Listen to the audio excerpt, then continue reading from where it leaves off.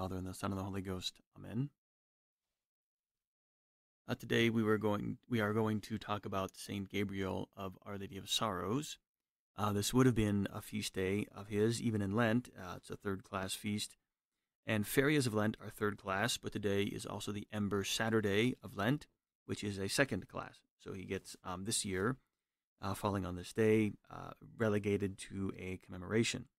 Uh, but as we've spoken about the readings uh, in yesterday's um, little talk, we will speak today about um, Saint Gabriel of Our Lady of Sorrows. Also, this is a religious name He was born Francesco Possenti.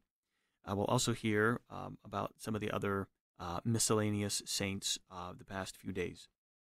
Uh, so, starting there, um, we have Saint Irene from the year 420.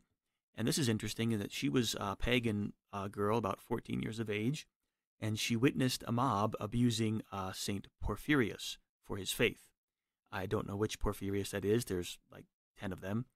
But the violence um, upset her, and she came to his rescue, and she caused um, enough, it says, enough trouble that the pagans left him alone.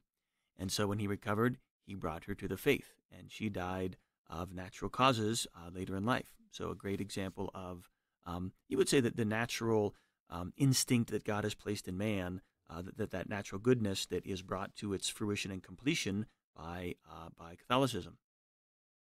Another one is Blessed uh, Martino Martini, he is a, was a convert to the faith, and then he joined the Franciscans. And though he never made a solemn profession or even actually became a friar, uh, but he stayed there at the monastery and did the most menial work uh, in, in Lisbon, Portugal, uh, going barefoot, living off of bread and water, spending all of his free time in prayer, which uh, got him into trouble, you could say. On one day, he uh, was working as cook, and he got so taken up in prayer, he forgot to cook breakfast. So he was admonished, and later the same day, he got lost in prayer again, and he was neglecting to cook the next meal. Um, so now this would be this would be evidence of ecstasy, right? The saints talk about ecstasy; they're not aware of anything around them. So this is something that's you know it's not really his fault. It was just he's he's spending this time in prayer. So he's supposed to be cooking lunch, and one of the friars is suspicious. So he came to check on him, and sure enough, uh, he found uh, Blessed Martino not there, but instead angels were in the kitchen doing the cooking for him. So that was uh, quite something indeed. I wonder what that meal would have tasted like. Uh, we also, let's see, have, um, and th- those actually, all those saints I mentioned are from yesterday, the 26th. Um, for today, the 27th, um, there was, again, a number of Polish and German martyrs from the 1940s, some of the English martyrs from the 1500s, uh, the um, persecutions of the Anglican Church there. Um, and as, as you know, we have we have those kind of groups of martyrs: the Mexican martyrs, um, you know, the early martyrs of early Rome. Um, you have the Japanese martyrs, the African martyrs, um, all, all, and and just so many of them. Right, there, there would be multiple, multiple every single day of the year are going to be multiples of these martyrs. So let's not forget them.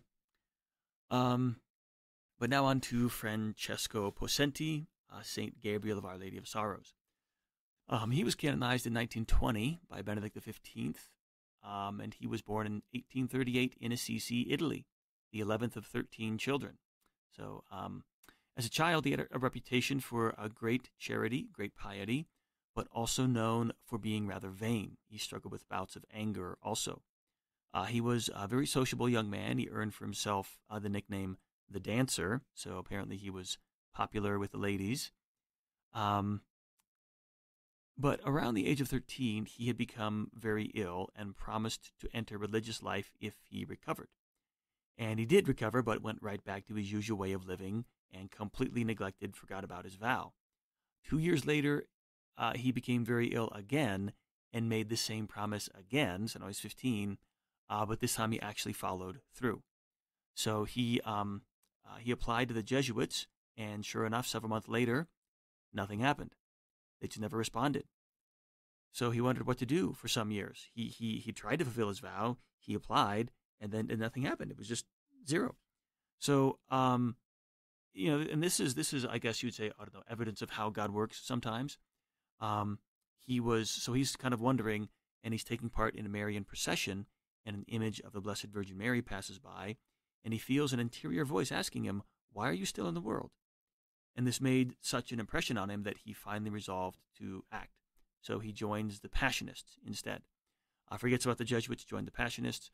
And this, the Passionists were founded uh, by St. Paul of the Cross in 1725.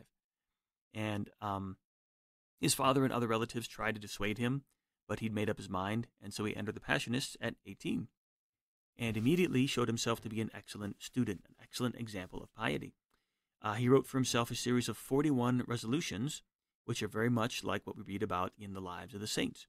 Uh, among them, he resolved to follow the rule perfectly, never to neglect any of his prayers, to fulfill his ordinary duties exactly, not to speak without necessity, never to defend himself when blamed or corrected, to see Christ in everyone, and many others.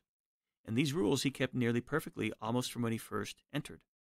Uh, so this is a great example of perseverance. Um, many people, when they, they join the religious life, when they first begin, they have a great zeal and a, a fervor and a piety, and uh, but it's, it's, very it's very quickly lost, right? Especially if, if, if people continue for some time in the religious life, it's very very hard to talk about recapturing that initial zeal. So Saint Gabriel um, uh, did a, a, very good job of, of maintaining that.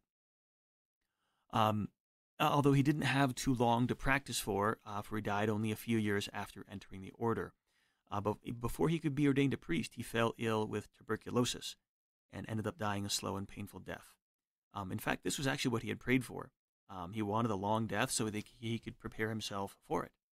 In fact, the story is told on his deathbed how he was so weak he was barely able to move.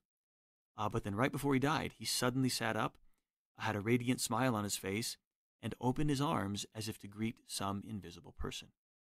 And those uh, persons present are convinced he had a, blessed, a vision of the Blessed Virgin Mary. And uh, that would be in uh, 1862 is when um, he departed this world. So not not too much from the life of, of Saint Gabriel of Our Lady of Sorrows, um, although there is a famous instance, uh, story told of him during an episode of political trouble in the 1860s.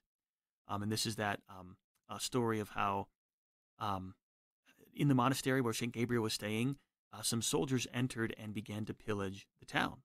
And the other monks hid, and the abbot advi- advised them to, to, to flee for their lives. But St. Gabriel did the opposite. He ran out and he confronted the soldiers. And um, and so this this that is that very well may be true. But in fact, the, the author of this story admits to having embellished some details to make for a better story. So uh, so it is. I mean, that the town was in trouble, that there were soldiers. Uh, that all um, is most likely true. Even that Saint Gabriel displayed um, courage or confronted them, very well may be true. Uh, but so the the story goes that as the soldiers were, he was in this interchange with the soldiers. He grabs one of their pistols and points it at them. And another soldier came forward, and Saint Gabriel grabbed his pistol as well. Now he's got two. And more soldiers gathered around, and Saint Gabriel's outnumbered. And it's not. It's kind of this this standoff and just then a lizard runs across the street, and St. Gabriel takes aim and fires a direct shot and uh, uh, nails him. So the soldiers are impressed with his marksmanship and leave, and the town hails St. Gabriel as a hero. Uh, this is one of those stories that um, uh, we have to note as being an embellishment, right? Like I said, the author himself says that is not a true story. Uh, kind of the idea of, a, but but it should have been. Uh, now this this is we should note that um, this would be a case where people would say, well, see, so we can't trust the other stories in the lives of the saints.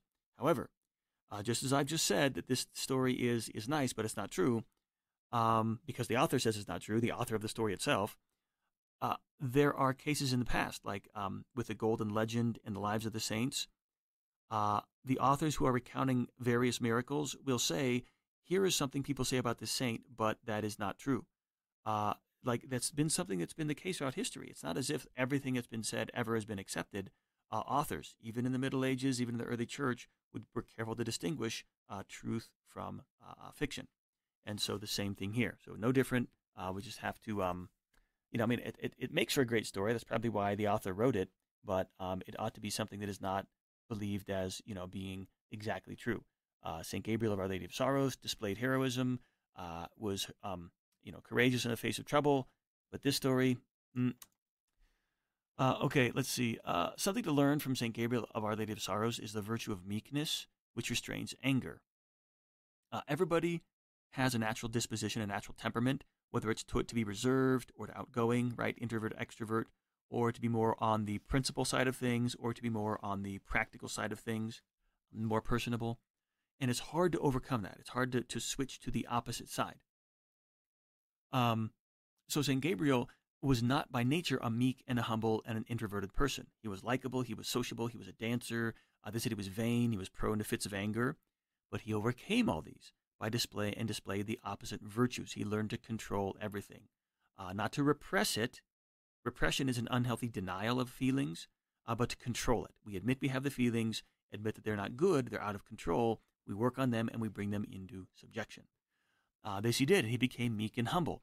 And uh, this is a great point to make. Meekness is not weakness, but the world sees it that way. Because the only reason people in the world appear to be meek and humble is that they are too timid to say or to do anything. They just don't have passion. They don't have the ability to stand up for themselves. It's not a virtue in that case, it is a weakness. A person who has passion but who controls it is very rare. Um, so when that person comes along, the world is surprised. They mistake a meek person for being a timid person, and they dismiss it as being cowardly and weak. When the time for action comes, boom, that meek person surprises everyone. This is why the meek shall inherit the earth. They appear weak, but in fact, they are the most powerful. And so that is a great example of Saint Gabriel of Our Lady of Sorrows. And that's why, you know, he was able to go out and confront those soldiers when the time came. He was meek and humble, obeyed the rule, obeyed the order, looked like everybody else. When the time came, uh, that's when people saw, okay, this is a man who has mastered his passions. So let's um, think about, um, you know, this time, this this uh, day and age, these things going on. Uh, we want something to happen, right? We want we want to see something happen, or we ourselves maybe want to do something, and we feel um, unable or trapped, or you know, if I just uh, you know, could have a, some peace and quiet, if I could be spend some time in prayer, if I didn't have all these kids, or if I was this or that or whatever. Um, you know, we need to be humble and meek, uh, like Saint Gabriel Possenti. Um, we can think of ourselves almost like um, pieces on a chessboard, and you know that little pawn, uh, you know, or that rook or whatever may might just sit there for the entire game and just be there, and then in the last two moves of the game, that piece is the one that is used to up make a checkmate, and that could very well be God's how God operates. Is it we we, you know, we see all this stuff going on, nothing's happening, nothing's happening. And at the 11th hour, at the last minute, when nobody saw it coming, boom, you know, you're the one that gets used uh, to change everything. Um, so we never know, right? And it might be something small. It might be for the, for that um, for that town, right? For that monastery, for your family, uh, for the world. I mean, who knows? Who knows who God's chess pieces are? Um, uh, but that's what we have to keep in mind, right? And that's what that's what meekness enables us to be Meekness prevents us from rushing out and doing something foolish. Uh, meekness prevents us, or I would say enables us, to feel the hand of God on us, to move us where He wills, to be exactly in the right position uh, where we're needed the most. So perhaps that's some lesson we could learn uh, from St. Gabriel Possenti, mastering our passions, uh, mastering, um, you know, whatever temperament is. You know, he had that outgoing temperament, he mastered it and, and became, um, you know, more reserved but that, that strength, that natural strength was there when it needed to be. So likewise, right? If um, we, we're naturally um, introverted, you, you, know, learn to be outgoing, learn to be more active, more more proactive, um, and then what you know that that thing that you're the best at, it'll be there when God needs it to be. Uh, so uh, let us keep that in mind. Keep up our, our prayers, our penances, our sacrifices, and especially our spirit of peace, peace, humility, meekness, um, uh, constancy. Uh, that those are going to be the most important um, uh, qualities, right? Uh, what do they say that that adage? The millstone of God might grind slow, but it always grinds exceedingly fine. Uh, so we will be victorious in the end. We just have to be patient. So, um, all holy saints um, and Saint Gabriel of Our Lady of Sorrows, pray for us. God bless you all. In the name of the Father and the Son and the Holy Ghost.